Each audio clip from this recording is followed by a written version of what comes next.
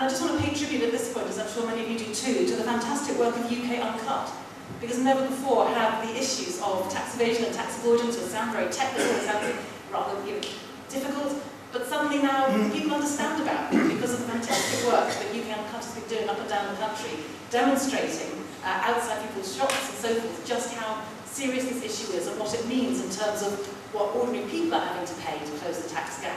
because corporations and banks are refusing to pay their fair share. We could be